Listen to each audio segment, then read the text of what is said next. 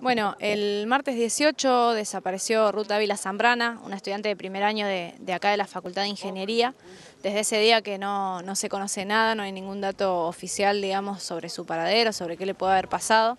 Eh, y bueno, eh, por ese caso, digamos, desde, que nos enteramos, los estudiantes de esta facultad estamos eh, movilizados y preocupados por, su urgente aparición. Así que, mm, digamos, en ese sentido, movilizamos el día martes de la semana pasada, cientos de estudiantes acompañando a la familia y demás organizaciones, que fuimos a Fiscalía y Casa de Gobierno para exigir, por un lado, que se, que se aceleren los ritmos de la investigación, que el Estado ponga todas las herramientas que tiene, los recursos a disposición de, la búsqueda de Ruth y por otro lado también para denunciar de que esto se da en un marco en el que la desaparición de una joven no es una excepción, lamentablemente, eh, y en el que el 3 de junio fuimos millones los que salimos a la calle en todo el país eh, bajo la consigna Ni una menos, pidiendo el desmantelamiento de las redes de trata, pidiendo eh, que no haya ni una muerta más a manos de la violencia de género, que, que se lleva una mujer cada 30 horas. Em,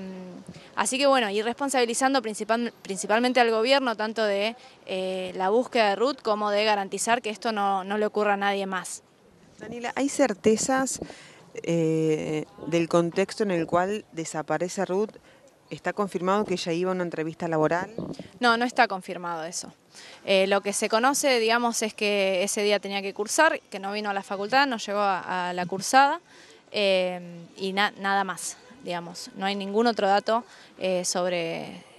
digamos, qué micro se puede haber tomado, sobre a dónde fue, ni nada por el estilo, no, no se sabe nada más, nada oficial, digamos. ¿Ustedes están en contacto con la familia? Sí, exactamente. Ese, eh, bueno, las movilizaciones tanto del lunes, que hubo una concentración en Fiscalía, como del martes, sirvieron por lo menos para conseguir un compromiso de, eh, por parte de la, investigación de seguir algunas pistas, pero no hay ninguna respuesta de eso hasta el día de hoy.